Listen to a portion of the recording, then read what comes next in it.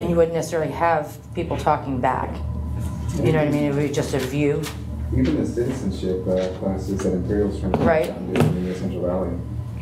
I get some utility out of this. Right. So that's three hubs already.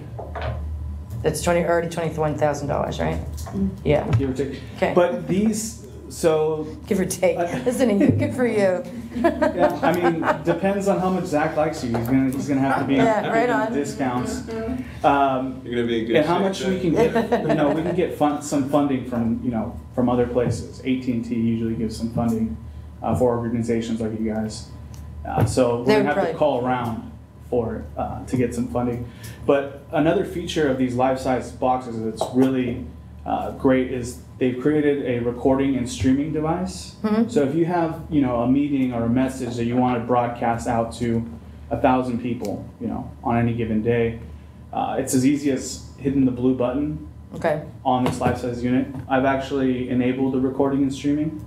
So that red dot right there indicates Okay. that I'm streaming this out. And if you can go on your PC, you can go to record. No, I'm not finding it right now. Uh, me? Where- I didn't do, I didn't go anywhere. Where should I be? Uh, if you can go to record, R E C O R D, dot perfectvc dot com.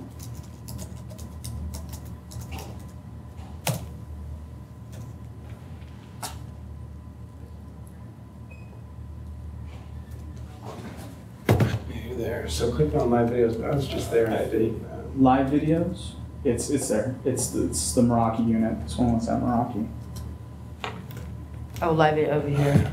So Yeah, see, there's I think. No, there are no live videos. Yeah, so I had to, no, I just had to sign in, because he has it on a private channel. So one of Oh. our customers has a private channel, so other people can't get to it for their trainings and stuff.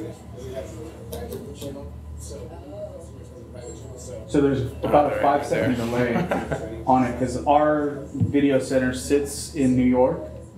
So we've actually purchased this this appliance, and um, we have people rent time from it. So our customers don't necessarily need to spend the money uh, to purchase, you know, this kind of uh, infrastructure. It's a thirty-two thousand dollars server, but we rent time off of it. So time Okay. could be. Because I know that that's per a, hour. I know that that's something that they want to do. They want Right. to begin to um, stream our e-board meetings. Right.